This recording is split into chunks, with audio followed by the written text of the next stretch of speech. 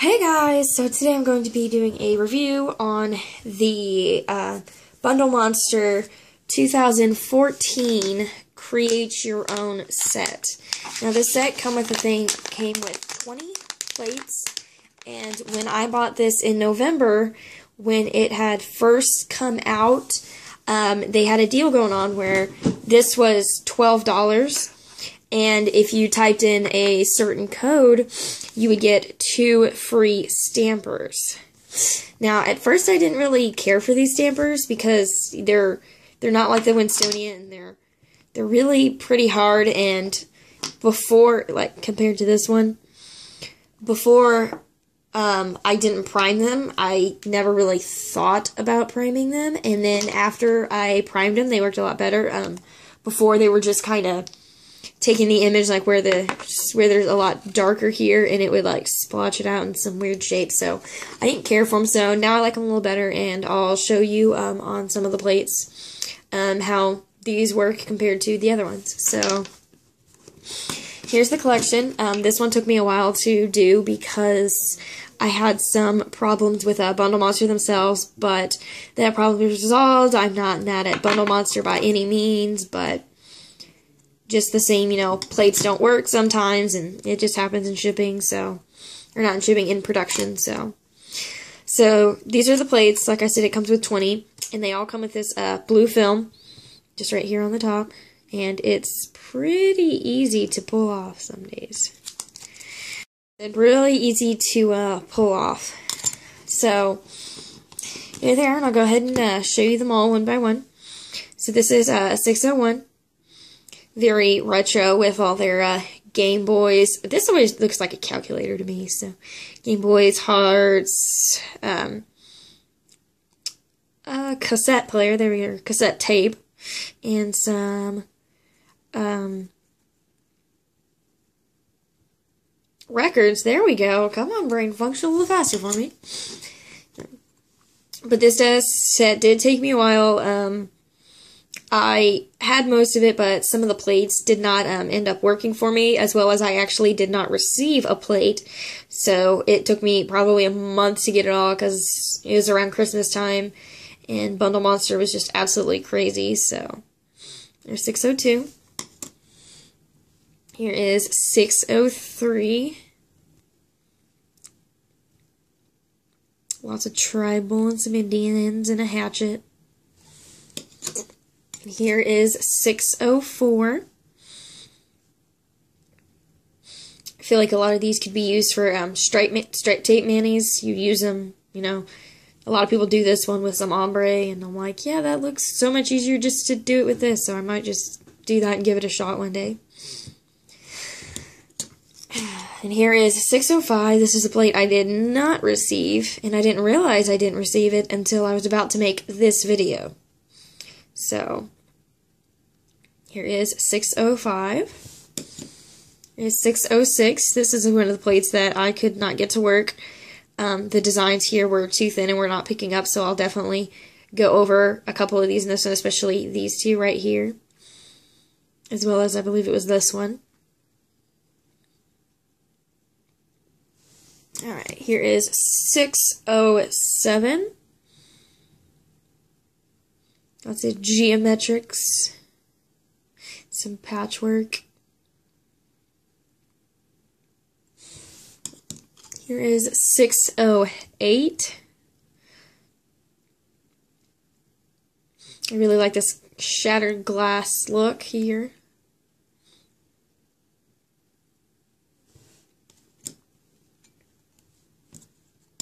And here is 609.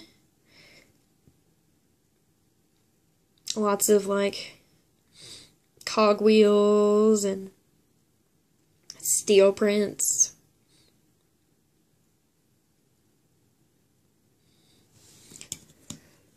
Here is 610. This is also one of them that I had re or had to get replaced because this um, just kind of didn't seem right to me and this one still doesn't but maybe that that is just the design and I didn't realize it but as well as these up here weren't stamping correctly anyway and I believe this did not stamp correctly They're 610.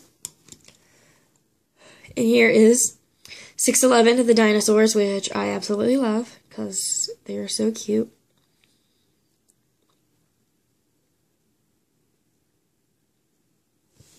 Here is 612.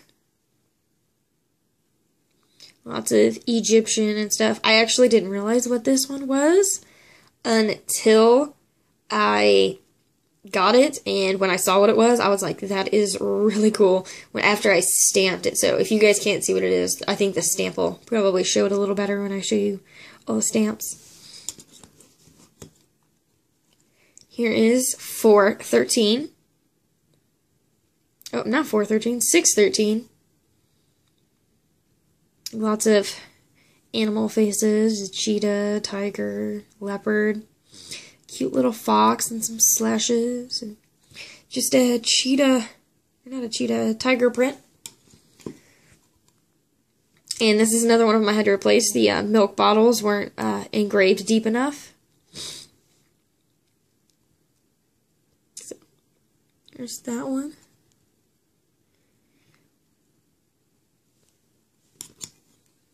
Here is 615. Lots of unicorns and very fairy tale-ish. Got a little gnome. I have a friend who loves unicorns, so she absolutely loves this plate. Here we have BM616. Very florally.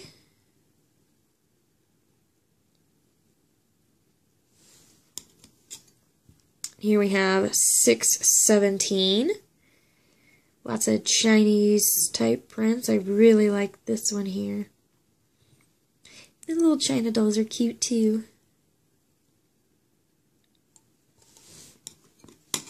Here is 618.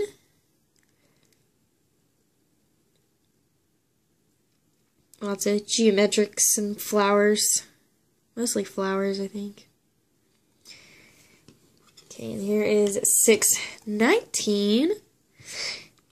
I think this is the one everyone really wanted when they saw this collection. The whole keep calm and polish on. This is another one I had to have replaced because the uh, polish bottles weren't engraved deep enough, so they were missing some on the outside. And I will um, show you the plates that I did get replaced compared to the ones that, you know, are replaced now, my new ones, so you can kind of see the difference. There's that one. And lastly, we have 620. And so here it is. Lots of hearts and stuff. And here's some shoes, some ballet shoes. And there's this here. It says Tour France. I'm not sure if it's supposed to be Tour de France, like the bike race, and something's wrong here. I don't know exactly, but that's that's the plate I have, so that's what I have. Alrighty, so I'll go ahead and um, clean up and show you some of the uh, stamps I did. Alright, so here they all are. Um, I just did it on paper because it's easier than doing the 600 odd or whatever designs that are on there on my fingers. So, and show them to you. Oh, wait, this is actually the uh, wrong paper. I think. Yep, that's the wrong one. Okay, so here are the images. Um, I figured it was easier to stamp it on paper rather than do it, you know, the hundred some odd designs that they are on my nail. So, just go through them. This was what the, um, this is when I first stamped and when I found out that some of them didn't work. So that's what the uh, polish bottles used to look like.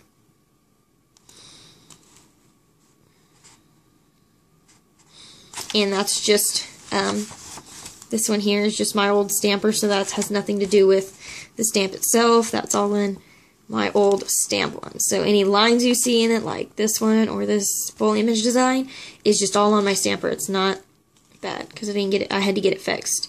So there's the POW one. That was one of them I had to get replaced.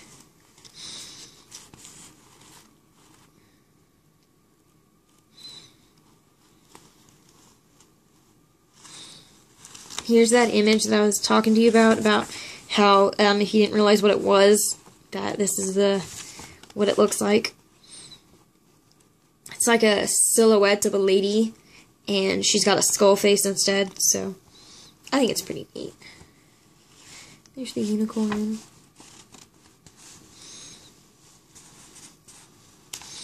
And this is why I had to get the this one replaced because the lines weren't coming down and I lost some of the images because of it. And this is the one that had the uh, hatchet on it. All the lines weren't coming through and here that exact same image is actually over here. It really did not want to transfer over. And there it is with the uh, arrows.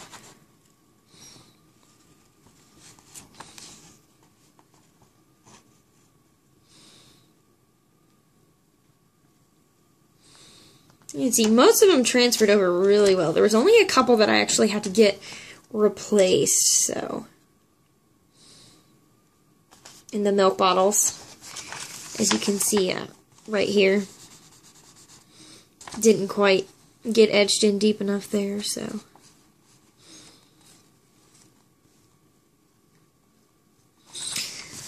So yeah, that's that one, and I will uh, go ahead and set up and stamp some of uh, 605 for you guys. Alright, so here's plate 605 again, just in case you didn't remember quite what it looks like. A lot of geometrics and such. Little dream catcher. So, again, I don't use stamping polishes. Um, I do have some currently on the way, but they're just for a different purpose is the reason I have them coming. Um, any thick polish will work, so that's just what I use. I just use thick polishes. Uh-oh, looks like 605 might be having some problems. let's clean this up. Try again.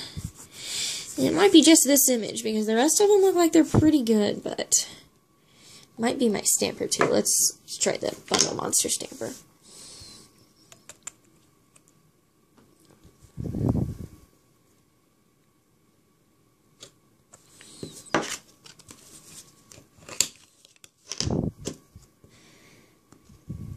Okay, that one transferred quite a bit better. So, we go. There is that one if my camera will focus. Okay, so I did realize that my ceiling fan was on, so that might have been um, the problem. Um, I also did switch out to one I usually stamp with rather than just my uh, tester one, because my tester one just might be old and like super thick, so that might be that problem. So let's try this one again. Let me switch out stamper heads for, I think this one. This might be the same one I just pulled out of it. I don't know. I just did a shuffle over there, so.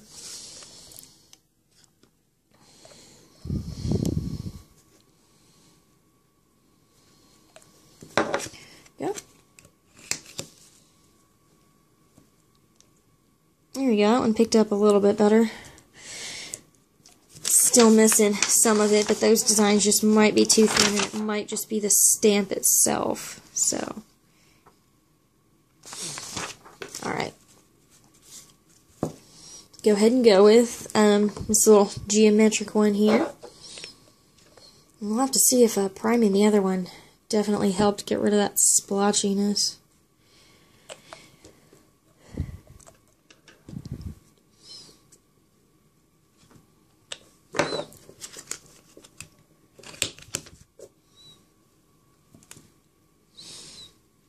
That one. I I definitely think it's this stamper head. It might not just be primed entirely. So.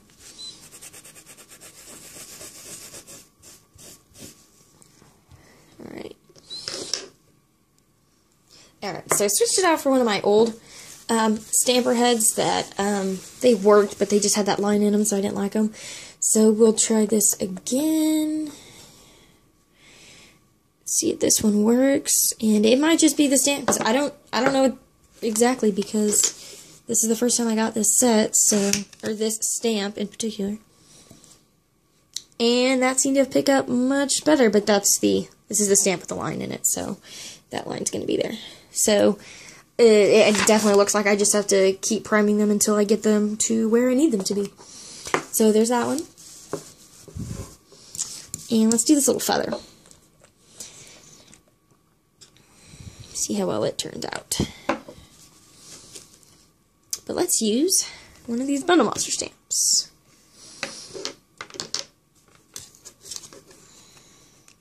Um, the stamps actually did um, come with scrapers, but I don't like the scrapers. They were just um, plastic, kind of like ones you'd get with, um, kind of like this Salon Perfect one. It's that same shape, but without the metal. For some odd reason, the feather's not doing what it's supposed to be doing, so I'm going to try scraping it this way instead.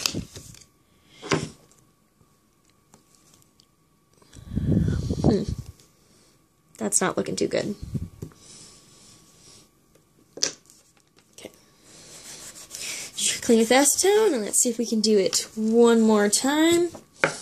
I may just have to get this one replaced again, and hopefully I don't have to fight like I did last time. I think I sent like three emails out, possibly, to just to get them from them, and it may be the stamper, so we'll see.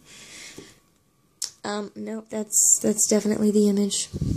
Okay, so it looks like I'm probably gonna have to get 605 replaced.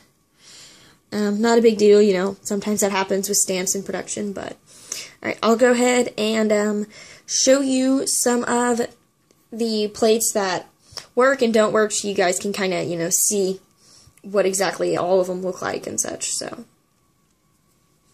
Okay, so here are all the ones that um, I got replaced, and they're with the one that's the new one.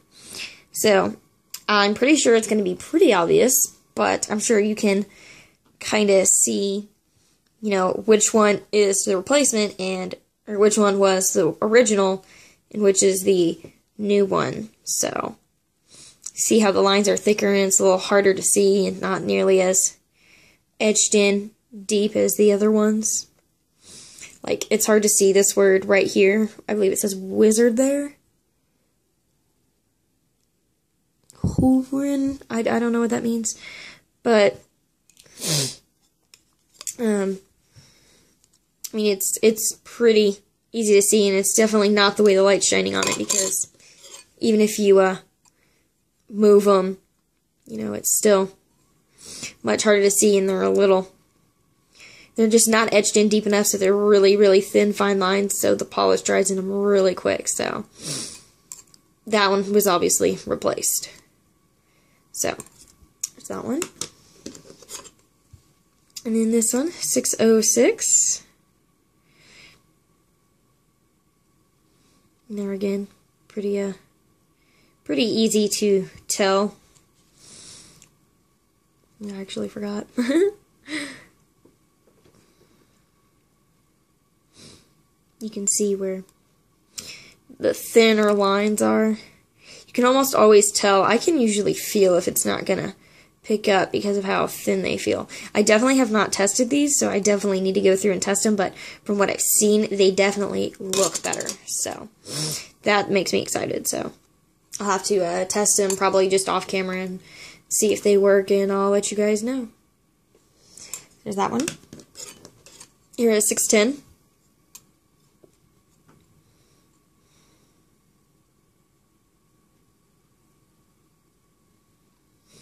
So here's the replaced one, or the one I had to get replaced.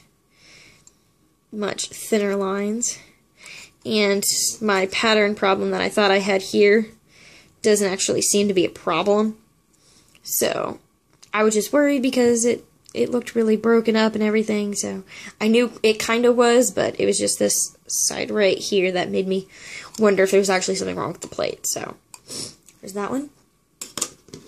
Here is this one.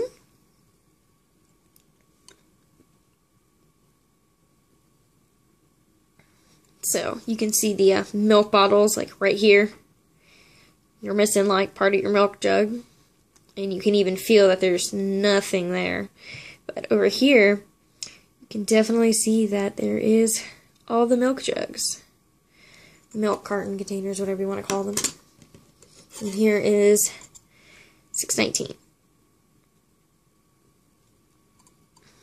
And so you can see the polish bottles are missing a bit on each side, so and here you can see that they're not missing at all. So, um, overall, I really like this, even though I did have a problem with Bundle Monster. But, um, you know, that happens sometimes. It's life.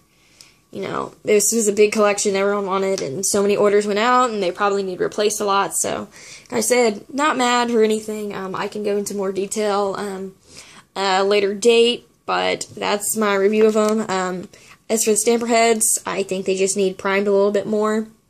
I don't know, so I'll have to um, come back another day, maybe when they're primed a little more. So, alrighty, well, um, I hope you guys enjoyed. Go ahead and like and subscribe and follow me on Instagram, you know, whatever. So, um, thanks for watching. Bye.